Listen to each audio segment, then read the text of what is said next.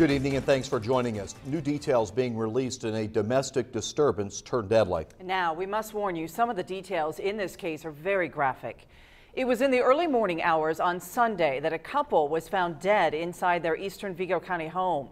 News 10's Lindsay Yates has been following this case for you and brings us the very latest in tonight's top story a tragic series of events that took place here at 4025 North Creel Street in what appeared to be a murder-suicide. Sources tell us that the couple was married on Saturday, less than 24 hours before both were found dead. 911, what that is the emergency? Help me, 4205 North Creel, please. What's the address? 4205 North Creel. Okay, what's going on there? Please, please. Who is? My husband. What's his name? Scott Johnson. He's got Scott guns what? in The 911 recording depicts the events that unraveled inside this home in the early morning hours. It was around 1:20 a.m. on Sunday. Kelly Ecker Sampson dialed 911, frantically claiming that her husband threatened to kill her. Phone call went dead in a short amount of time. Dispatchers immediately uh, dispatched deputies to the scene.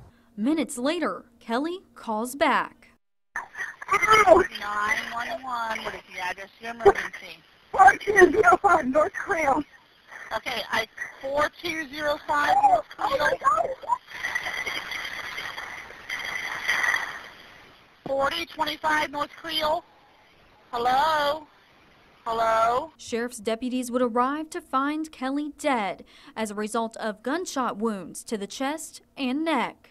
Uh, deputies did find uh, the female victim inside the child's bedroom, deceased. An elderly couple and Kelly's 10 year old son were safely removed. The um, uh, female's husband, uh, Scott Sampson, had retreated uh, to the basement with guns and multiple rounds of ammunition. That's when the special response team was called in.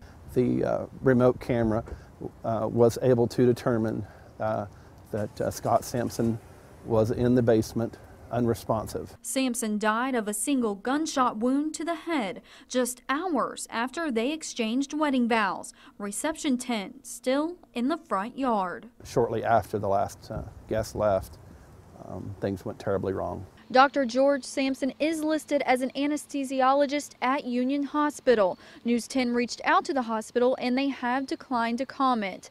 We'll continue to follow this story and bring you more information as it becomes available. Reporting in Vigo County, I'm Lindsay Yates, News 10. The sheriff's office is currently taking inventory of Sampson's guns collection. He is registered as a federal licensed dealer.